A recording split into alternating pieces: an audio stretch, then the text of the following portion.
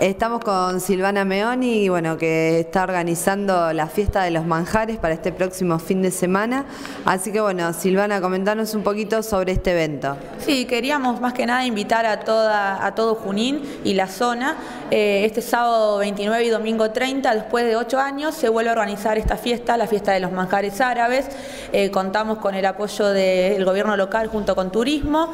Eh, bueno, lo que vamos a presentar son el show en vivo de Mario Kirlis y Yanan con su ballet y van a participar academias de la zona como Chacabuco, Pergamino, Arrecifes, Venado Tuerto y también contamos con todo el apoyo de academias de acá de Junín, con la academia de Soham, de Samira, la mía que es danzas árabes, eh, Asaj, y bueno, vamos a exhibir como siempre en todas las fiestas que hemos organizado, platos árabes, elementos decorativos de la danza árabe, y bueno, eh, queremos contarles que empieza a las 19 horas, con todo lo que es el show de coreografías de todas las academias y a las 21 horas va a estar la orquesta en vivo de Mario Kirli junto con la bailarina Yanan, que es lo que le comenté anteriormente. Ese mismo sábado por la mañana, 10 horas, va, a haber un seminario dictado por Yanan en el cual participan alumnas de todas las academias que ya les informé, eh, de la zona y de Junín.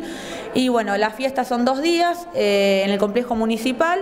y queremos más que nada eso, eh, comunicarles e invitar a todo, a todo el público. Bueno, me imagino que deben estar muy contentos después de tantos años poder volver a organizar este evento. La verdad que sí, eh, cuesta mucho, es una gran inversión, pero bueno, el gobierno, como te dije antes, nos apoyó, nos dio el sí, así que toda, eh, imagínate todas las profesoras felices de bailar con, tienen la posibilidad de bailar con Mario Kirlis en vivo, es como un sueño hecho realidad para ellas y bueno, acá feliz trabajando para que salga todo 10 puntos.